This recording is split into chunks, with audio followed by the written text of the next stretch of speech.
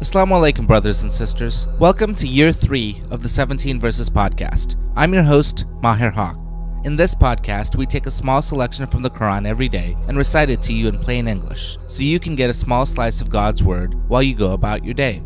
By averaging 17 verses per day, we're able to break the Quran down into manageable pieces and finish it in one year. If you enjoyed the podcast, please help spread the word. Tell your friends and family, subscribe in iTunes or Stitcher, and write us a review. Bismillah ar-Rahman ar-Rahim. In the name of Allah, most gracious, most merciful. O believers, do not enter the houses of the Prophet without permission, nor stay waiting for mealtime.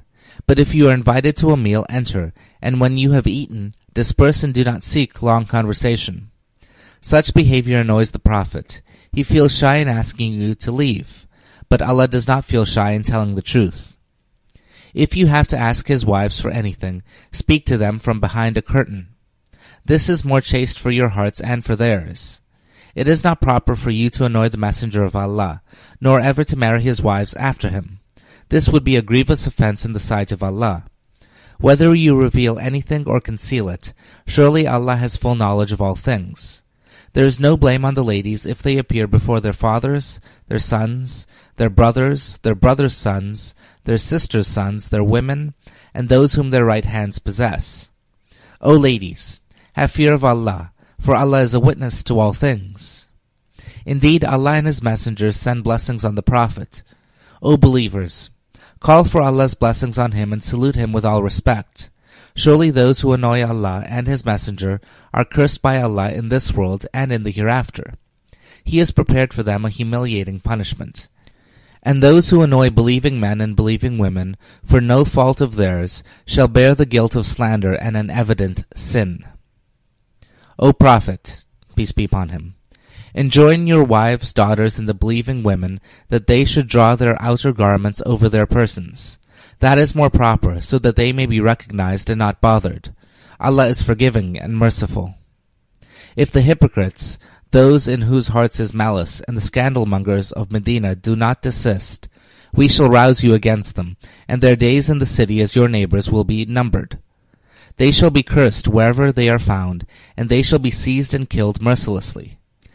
This has been the way of Allah regarding such people among those who lived before you and you will never find any change in the way of Allah.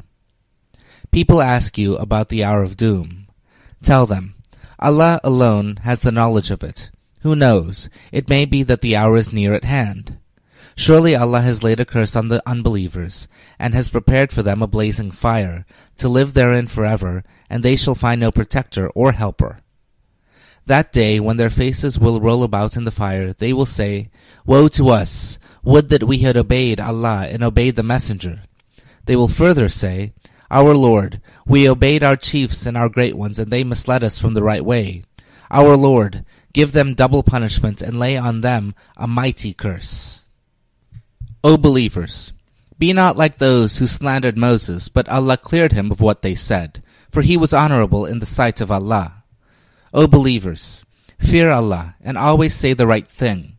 He will bless your works and forgive your sins, for he that obeys Allah and His Messenger has indeed achieved the highest achievement. The fact is that we offered the trust, or freedom of choice, to voluntarily use this option according to the will of Allah, to the heavens, to the earth, and to the mountains, but they refused to undertake it and were afraid. But man undertook it. He was indeed unjust and foolish. The inevitable result of bearing the burden of Allah's trust is that Allah will punish the hypocrite men, the hypocrite women, the mushrik men, and the mushrik women, or those who associate others with God, and that Allah will turn in mercy to the believing men and the believing women, for Allah is forgiving and merciful. Amin. Now concerning the hijab or screen portion in verse 53. The list in verse 55 refers back to this hijab or screen portion in verse 53. Quote, the list of those before whom the prophet's wives could appear informally without a screen is their fathers, sons, brothers, brothers or sisters' sons, serving women, and household slaves or servants. The phrase their women is held to mean all women who belongs to the Muslim community Other women were in the position of strangers, whom they received not so intimately, but with the formality of a screen, as in the case of men. Compare this list in the wording here with the list in wording in Surah 24, verse 31, which applies to all Muslim women. In the list here, we are speaking of a single household, that of the central figure of Islam, or Prophet Muhammad. In the wording, note that for Muslim women generally, no screen or hijab or purdah is mentioned, but only a veil to cover the bosom and modesty in dress. The screen, or hijab, was a special feature of honor for the Prophet's household, introduced about five or six years before his death. Unquote. Thank you. This concludes today's episode of the 17 Verses Podcast. I hope that this selection helps increase your understanding of the Holy Quran just a little bit. If you like the podcast, you can subscribe in iTunes or Stitcher and write us a review. Or you can grab the RSS feed and put it into your own podcast app. The show notes, including a text version of this episode, can be found by going to 17verses.com. That's the numbers 17 V E R S E S dot com. Thank you, and be well.